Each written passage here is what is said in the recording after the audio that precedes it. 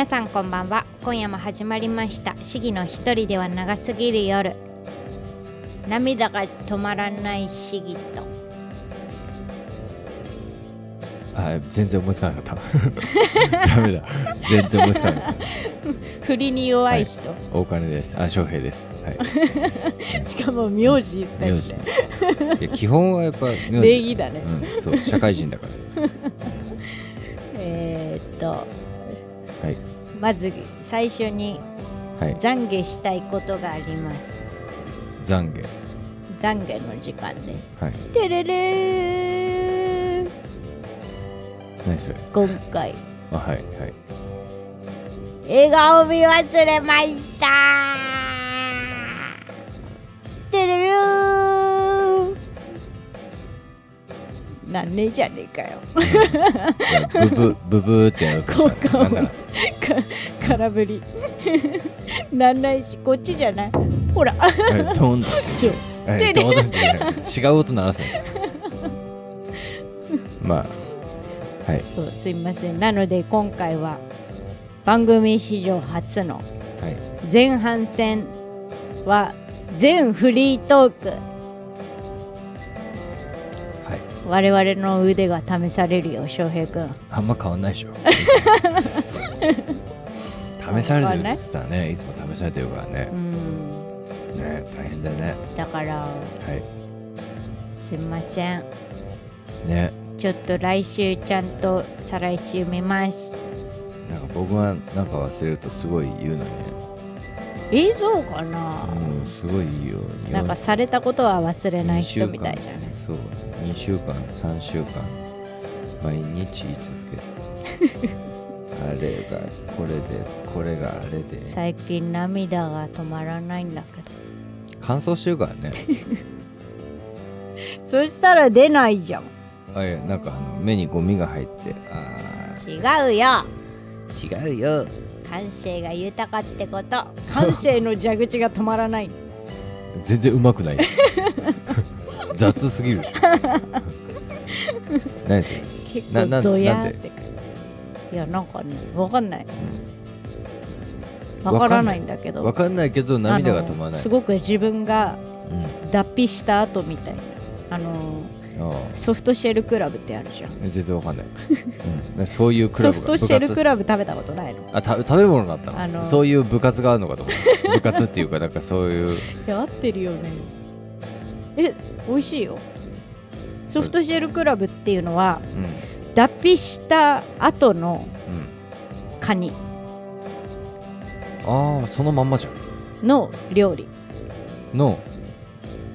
あクラブってカニね。そう。はいはい。カニカニタラバカニカニカニズワイガニ。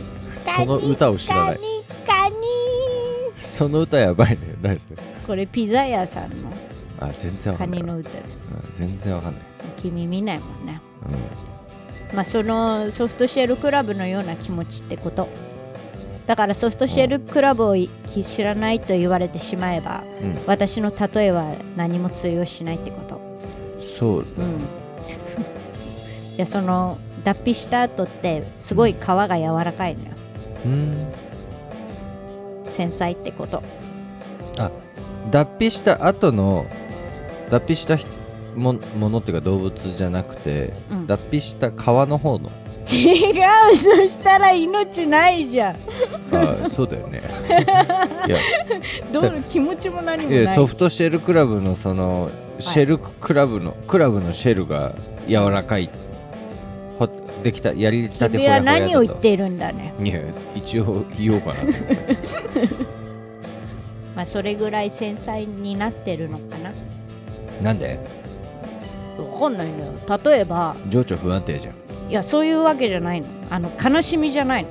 どちらかといえば感動の涙が多い。一つは車笑ってんじゃねえ。車に乗っててうん。お地蔵さんがいたの。また？それはまたって何特集しそろいるわ。ちゃんと特集しろよ。えっといてうん。そのお地蔵さんにうん。お家があったのお家があったの。うん。あのしかもコンクリート。ああ。そそれを見て泣いたね。なんでだよすごいじゃん。なんで？だって私すごいお地蔵さん好きだけどうん。とても好きとは思えないような言動をするよ。ん？とても好きとは思えないようなことを言うよ。うんだってさ石じゃん。ああ言っちゃった。言っちゃったね。それをさうん。お家作ってあげるんだよ。雨に濡れないように。うん。確かにめねっちゃいい話じゃない、そう？うん、それを見てありがとうって思って。お前じゃねえよ。お前じゃありがとうじゃねえ 感動したね笑ってんじゃねえよ。笑ってんじゃねえよ。あとねうん。うん映画を見ててなんかそれを作った人にうん。感動した、ああそれはちょっとわかる。うんだから帰りの車の中で泣いたね。スンスン。それも、うん、スンスン普通に泣いてた。うーって。作ってくれてありがとうやっぱり感謝したのやっぱり感謝した多分ね人とあんまりコミュニケーション取ってないからいろんなものをこうなんだろう身近に感じるんだろうね。あー距離感がつかめない 距離感がつかめないようになってそういう感じだよね。多分そのうち話しかけるよね。周りの人に。うん。みんな友達だと思っちゃってるでし あとね喫茶店でょ勉強してる人がいて私はその後ろでね、うん。うんあの物を書いてたんだけど。うん。そしたらその勉強してる人が、はいはい。まあ、疲れてストレッチを始めたんだけどあそのストレッチがあうん。なんだって？そのストレッチが私がするストレッチと同じだったことに感動した、はい。背もたれあるじゃんあ翔平さんもわかるかも。こうやるの。あその体を座りながらにしてそう体をねじる後方にみたいな左右後方にひねる感じね。そうそうそう。交互に。やる？うんやったりする。する？するする。あやっぱみんなそうなんだ。いやいるでしょよそれ。みんな一緒なんだね。そのいやポピュラーじゃんそのやり方。あそうなの？いやそうでしょ。なんか自分だけじゃないんだって感動してた。よあまあそんなことを言い出したらキリがないよ。あそんなに？この喫茶店で1時間ぐらい作業して3回ぐらい感動するポイントがあったから。ね暇なのかほんとねその一人でやることがある時、まあ、逆に言うとその友人とか知り合いの人との打ち合わせの場所がない時とかはうん。マジであのー人恋しくなるというか人の話を聞きたくなる、話をね。そう。だから喫茶店に行ってもうん。わざと人がたくさんいるところに座る。あでその周りの人がしてるどうでもいい話を聞いて、すごい「うーん」っていう。めっちゃいい うんそうそうなんだ。変なやつじゃねえかそれさ多分それそれでよそれでよそれでよいや多分それをお。あの理性を制御できなくなったら多分そこで喋り始めちゃうよね。多分それでリアクション取り始めちゃうよ。だっているじゃんそういう人。おばさまとかにいるよね。いるいるいる。なんか入ってくる人。そうそうそうう。ん。そういきなり来るじゃん。くるくる。うん。しまいにはだってあの誰も喋ってないのにその会話を聞いてたりするじゃん。いや誰もその会話をしていないのに その会話のリアクションをしてる人がいる。え？たまにいあない？の一人で怒ってる人じゃなくて？一人で怒ったりとか一人で歩きながらすごい笑って会話してる人とかいるじゃない。私がそうしてたらどうする？あやってんなーと思 そっとしといてくれるの？うまあね。あ迷惑を誰かにかけ始めたら止める？通報する。そこはちょっと。距離？距離感保つんだ。私と。ひどい男だね。そう。なんかそこですごいね。うんいい会話があったんだよな、いい会話。うん、いやその人の話を盗み聞きしてて、はい隣にいたカップルがいカップル、うん。カップルじゃないや。カップルになり始めというかなってない。なってないんだけどうん。男性はうん。明らかに好意がある、あー。で女性もそれを知りつつもまだその確信にお互い迫ってないみたいな。あ人和コードがいたわけですよ。私の隣に。隣。そのね会隣話がねめちゃくちゃ良かったんだよ。なんで？なんで終わったの？えーっとねなんだっけな。ちょっとお茶しようよ。いや、ねえちょっとお茶をしようよ。あのね。今の突っ込んでほしかった なんだっけな。あ鼻が痒くなってきた。あそうそうそうそう。あのねあれです彼女の女性の方がちょっとねポジティブじゃない。うん。うんでその子が男の人にうん「いや何もいいことなんて起こんないよ」って言った。会話してて。ネガティブだね。そしたらその男性の方がうん「そんなことないいいことだらけだよ」って言っうん。そんなたわけねえ。何その会話と思って。うん俺そんなわけねえよって言いたくない、そんなことないをかぶせんの？うん。そ 全然違う席から。全然。違う席から、うん、まあ周平さんはそうだろうね。そうだね。でもそう、うん。うん。普段はしないけ私はすごいその会話に感動したんだよね。どあそう。うん。だってなかなかさこうネガティブなこと言った時にポジティブ返しする人って会話聞いてると少ないんだよね。みんな同調するのよ。はい。まあそうだよねみたいなさ。それはなんかポジティブに返すのか。珍しい男だなこいつ。と思って確かにね。たうん。珍しい男だねそいつは。うん。で？で？なんだっつんだよ。おいなんでもねえよ。ああそうか。あこんなんで大丈夫なのか。あなんだよ。誰だっつんだよ。いやいやそういうツッコミかよ まあでもあれだね。そんな情緒不安定なあなたに。え？いや別になんもないんだけど。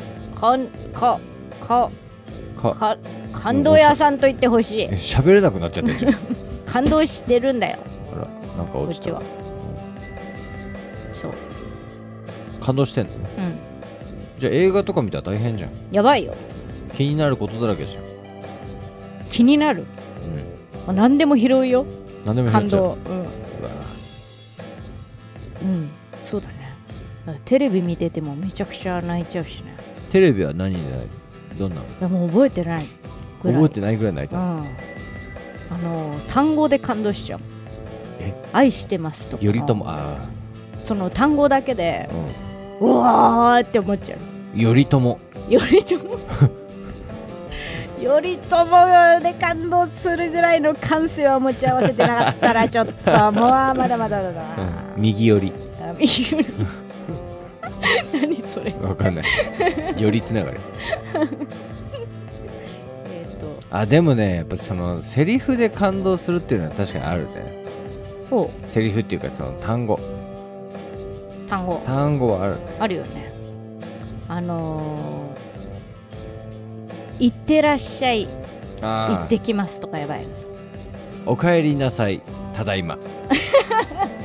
ごちそうさまです。あちいただきました。両方とも。両方とも食べ終わってる。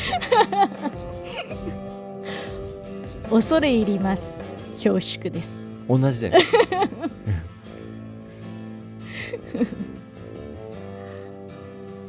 でもさああれだって。なんだよいっぱい泣いてる人っていうのははい。体力が余ってんだって。運動すれば。翔平さんってさうん。結構私にそれ言うよね。いや覚えてるかわからないけどうんわかんない今の私の言ったことはうん。うん感動をたくさんするっていう意味で、そうだね。うん、言ったんだけどうんうん数年前にあなたに私最近ちょっとすごいあの情緒不安定であちょっとなんか気分が浮かないのって言った時、うん。あなたなんて言ったか覚えてます？暇なんじゃないのって言ったんですよ。もう私はちょっと感心したね。あこんなこと言うやつなかなかね、あ でもさあるあるでしょでもちょっと良かったそれ。あそう。うん暇なんじゃない 俺でもあると思うんだよね。いやあのみんながみんなじゃないよ。もちろん。うん。本当になんか僕自身がそうだったんだけどうん。あのー何にもしたくなかった時期があったの。いつ？えっと何年前だっけな。あの時はね。3, 3ヶ月目ぐらい。ええジュラ紀だったから。ね、うん、まだ。収集つかんねえよ。そうだね。どっちも、まだティラノとかの時だったね。割と。いつの3ヶ月目だよ、あの時はね、いやあの78年前。おいうん。78年前なんだけどいやほんとやる気が起きなくて。うん。やる気が起きないっていうレベルじゃなかったの。それは悲しいとか楽しいとかもあもう全然ない。全然ないあでもね感動はすごいしてた。おい。えお。え感動してたっていうかなんかそのいろんなことが気になるんだけどその気になるもの全部がもう自分よりもすごく遠いところにあるような感じで。あー自分だけが。そうまあ取り残されてるとかそういうのはないんだけど。そうそうそうそう、まあ単純に家から出てなかったから違うところにいるって言えばいたんだけど自分だけがね。でまあその時にうん。あの、まあ、体が痛くなったりとかうん。いろいろあったのよ。うん。なんかずーっと眠いとか。うん。まあ言うたら今も眠いんだけど最近。いや今じゃない最近最近。最近。うん。うん。でもその時は要は本当に体力がうん余ってたね。運動してなかったそうそうそうあのね今思うともう椅子に座ってる時間の方が長くてあのもう寝るにしてもまだまだなんかこう体が動ける状況だったりするんだよね。でも眠かったりするんだよ。ちょっとよくよく分かんなかったんだよね。だよく食べてた割には動いてないみたいな。あそれが結構響いたのかなってあ思う、うんだけど今最近本当にこう体を酷使しまくってるのよ。うん。真逆だ。そうするとどうなるいや感動できるものが狭くなった。なんかのえー、あそう。そうなんか全然感動しないだろうここみたいなとこで笑っちゃうかもし笑っちゃうじゃねえや。泣いちゃうかもしれない。あ感動できないところで？ん？今までその感動いろんなことに10感動してたとしたらうん。今6ぐらいしか感動できない、え？うん、どこに置いてたんだ？その4いやー自分に自分の余裕っていう入れ物のために使ったんじゃないえじゃあすごいじゃん。正反対じゃん。そうだから全力疾走すればいいんだよ。土手を土手を。私？うん土手を。土手の上の道じゃなくて土手の下から上に向かって。土手の中？中は土。もしくはコンクリで え？ー、どいいいじゃん。はい。いいじゃんいいじゃん。いいいいジャンプ。振り いいジャンプやばい。ねえー、今日ははい。ちょっとお便りがいつ来ててちょっといいお便りなのいいじゃん。でいいいいじゃんなので全部読みたいと思います。お多分全部？全部読んだら90分ぐらいあると思うんですけど。おおすげえ投げ。えーさやかさん女性の方からいただきま初めてメールを書きます。ありがとうございます。楽しくラジオを聞いています。ありがとうございます。今日はしぎさんに聞いてもらいたいことがメールをしました。しぎさんを初めて知ったのは銀玉で流れていた「輝いた」がきっかけでした。すぐに調べて同じ埼玉県出身であることと同い年なことを知って親近感を覚えましたし同時に自分は今まで何も考えずに生きてきたのに市議さんは自分を持っていてすごいなと少しだけ罪悪感に襲われたのを覚えています。私は今社会人として働いています。仕事の内容に不満があるわけではないのですが毎日同じような生活を送る中で私が私はこんなことがしたかったのかなと思いながら過ごしているとある日職場でラジオから市議さんの輝いたが流れてきました。驚きましたし勤務中だったのに涙が出ました。帰宅してすぐ市議さんのことをまた調べて体調を崩して休止されていたことやクラウドファンディングで作品を出していたことなどを知りいろいろ終わりになっても変わらない市議さんの姿勢にとても尊敬しました。私は幼い頃に父親を亡くしており一人っ子だった私は母の手伝いをしながらとにかく母に苦労をかけまいと生きてきたので今考えると自分の気持ちを見ないで生きてきたのかもしれません。何も考えずに学校へ行き就職をして起きて働いて寝ての毎日で流れてきた輝いたを聞いて変わらないもの一つ持って旅に出ようという歌詞を聞いて私が変わらないものは何だろうとずっと考えていました。そして子供の頃から料理を作っていたこと。今でも母が喜んで食べる姿を見るのが好きなこと。そして休日は喫茶店へ行きそのお店のおすすめを食べながらそのお店の方とお話をすることが癒される時間だなと。自分の生活を振り返って気づきました。私も美味しい料理を出してお客さんをもてなしてそこからいろんな人とつながれたらきっと毎日楽しいだろうなと想像するのですが一方では今からそんな夢を抱いても遅いのではないかなという気持ちと母に対してどこか申し訳ないなと思う気持ちがあり前を踏み出せずに今も同じ仕事を毎日こなしています。長くなってしまいましたが市議さんはこんな私をどう思いますか？市議さんがもし私だったらどのような選択をしますか？よかったら教えていただきたいと思いメールをしました。そっか。どうすんだよ。さやかさん。さやピーマン。さや 何にもかかってないけどね。そうね。どうするかって聞同いかれてるぜ。年でね。ああどうすんだよ。うーん。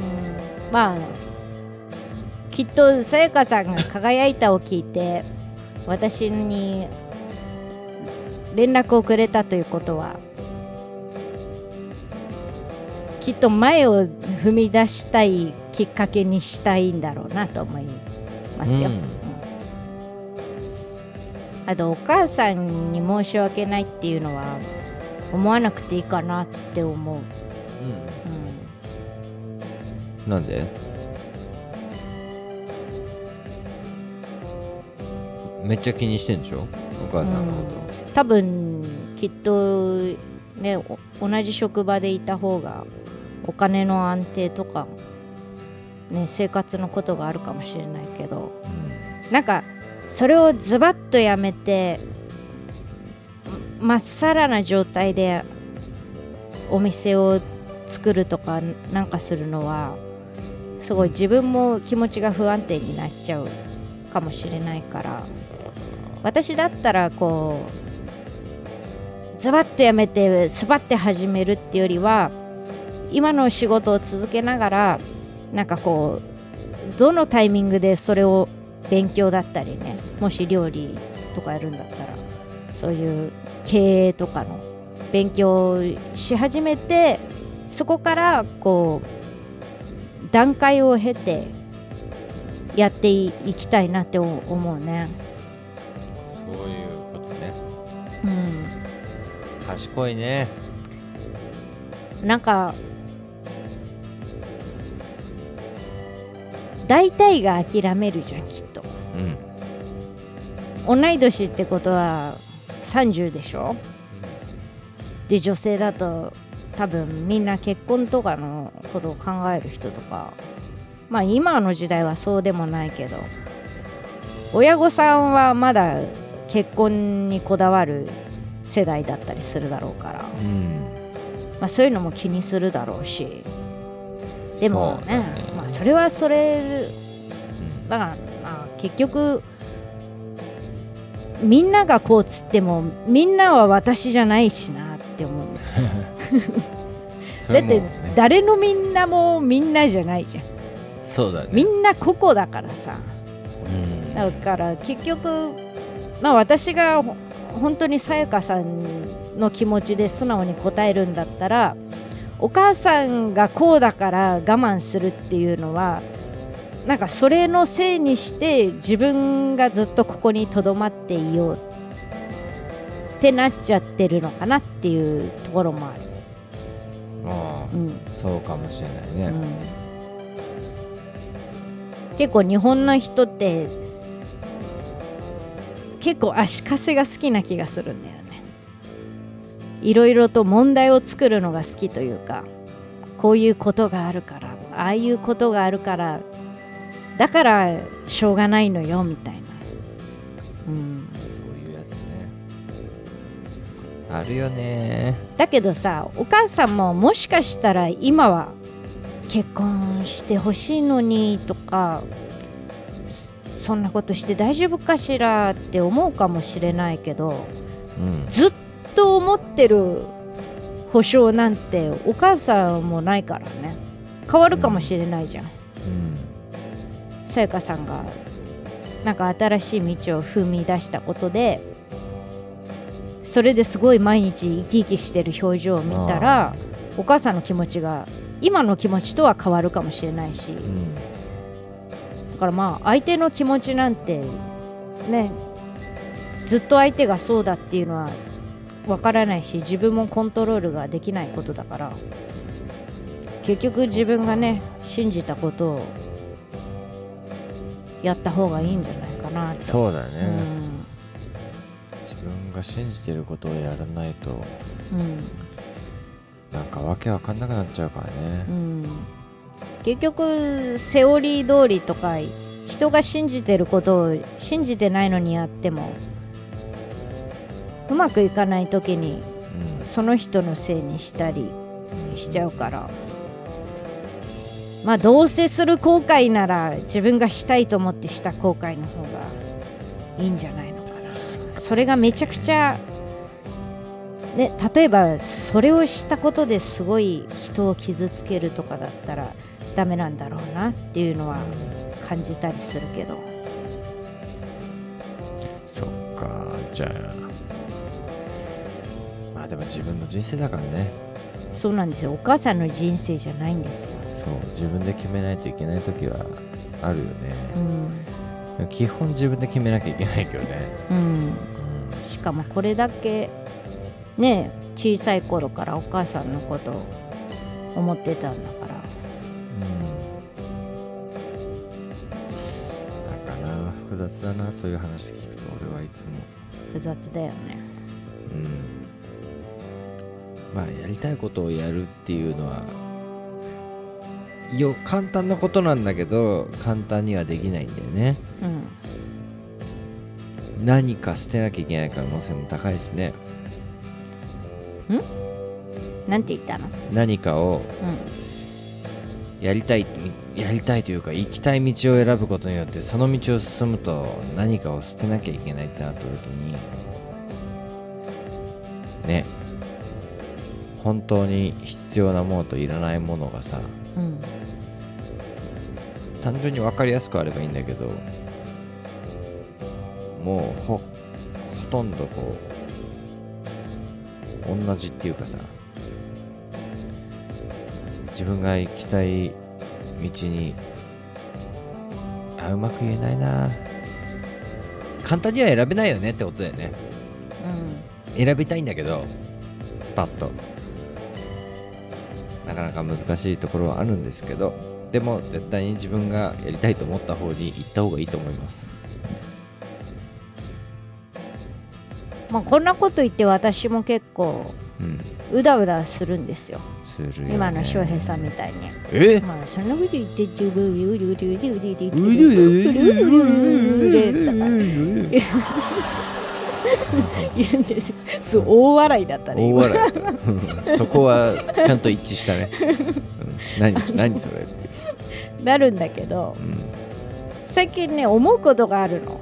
それをよく聞くんだけどうん、改めてねなんていうか知ってる？え？そういうこと。取り越し苦労って言うんだよ。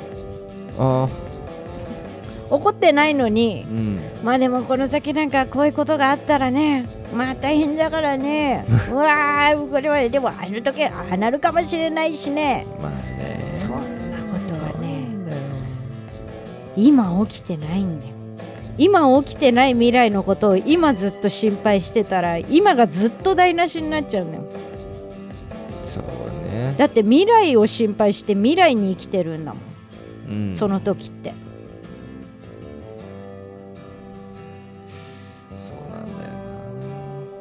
って思ったの自分なに、うん。いやわかるよ言ってることは。まあ結局しかもさ大人になるとめちゃくちゃ時間経つの早いじゃん。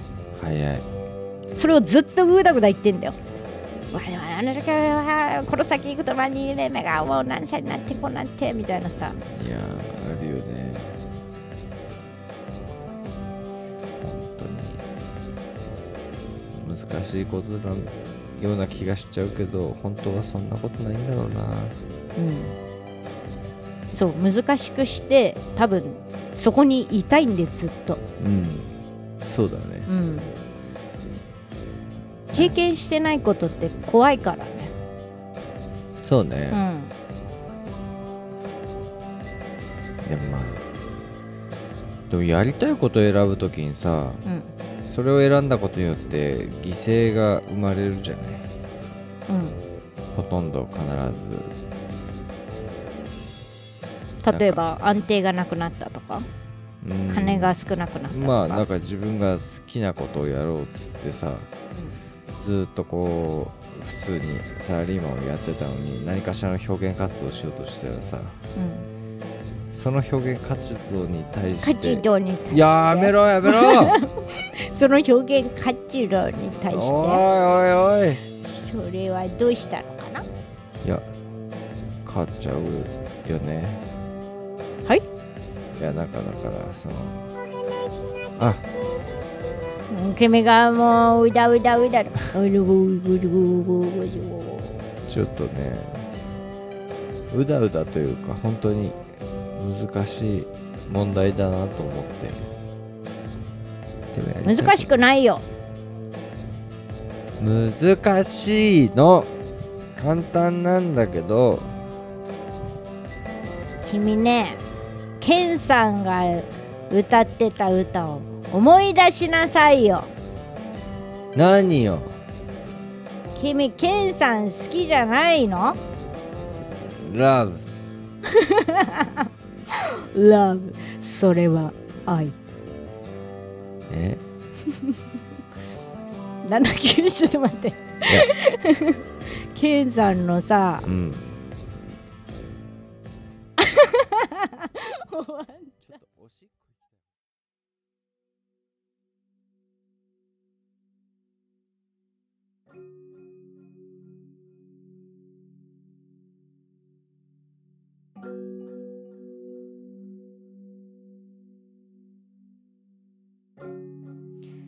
賢くなるなよって言ってるじゃん。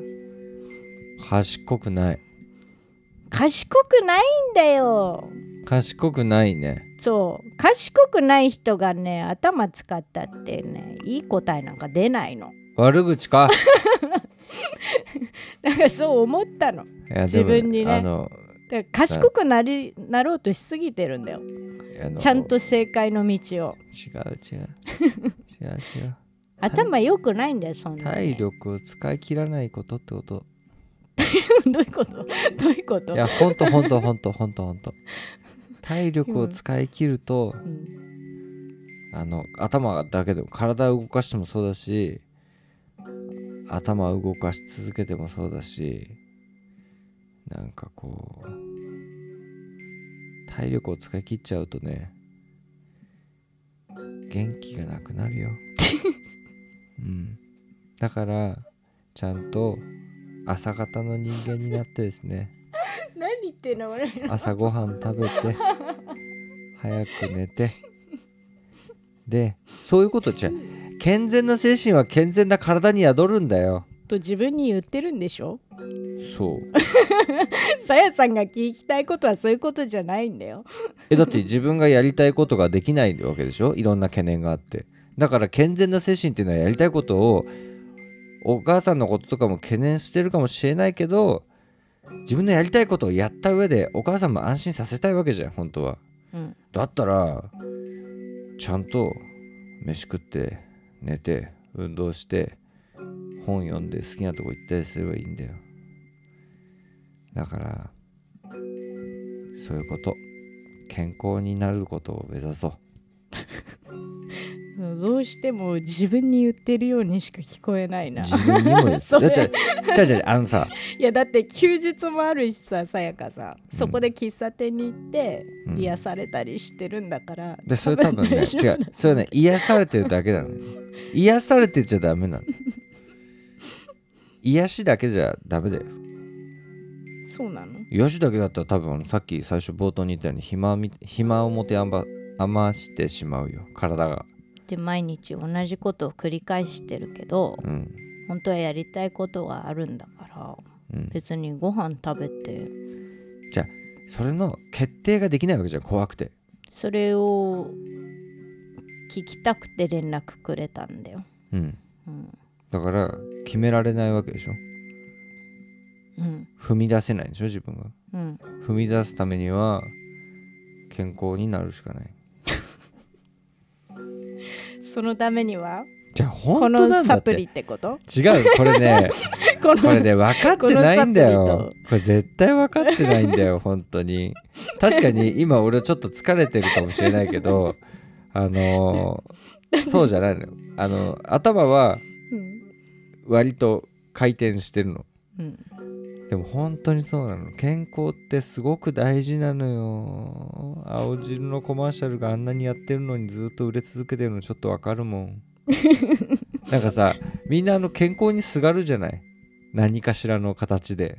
うん、筋トレだったりとか。そうだね。あの食生活だったりとか、うん。睡眠だったりとかね。うん。本当にね大事なのよ。睡眠とかも大事だよね。いや大事だよ本当に。もうなんか甘く見てるよね若い子とかね。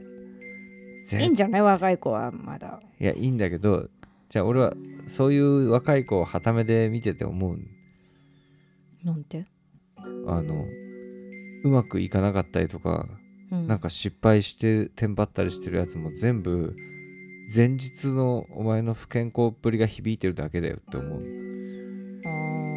ああの思考回路がね。終わってしまった。ー気